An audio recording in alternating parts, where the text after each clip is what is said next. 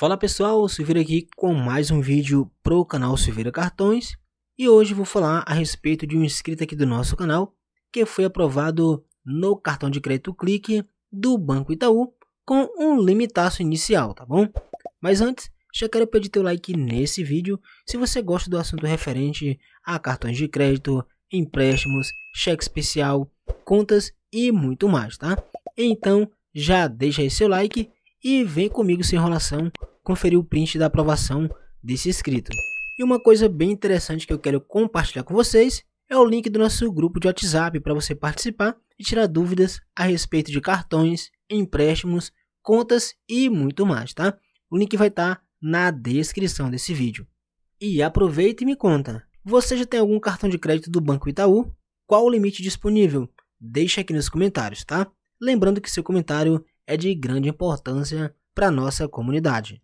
Bom, galera, tá na tela para você, né? O limite inicial de se inscrito aqui do nosso canal foi de R$ 6.750 no cartão de crédito Clique. Lembrando que esse realmente foi o limite inicial desse inscrito, né? Um limitaço chegando a quase 7 mil reais, galera. Como vocês podem observar aí também, ele já utilizou 506 reais e 93 centavos, né? Então, para quem começou agora, realmente foi um baita do limite, né? Creio que se ele fizer movimentação nos próximos 90 dias, com certeza ele pode estar tá conseguindo um aumento de limite ou até mesmo novos cartões de crédito, tá? Pois o Banco Itaú preza muito pela questão do relacionamento dos clientes, tá? E me conta aqui no final desse vídeo, você tem algum cartão de crédito do Banco Itaú? Quanto tempo faz que você não consegue aumento de limite? Deixa aqui abaixo, tá?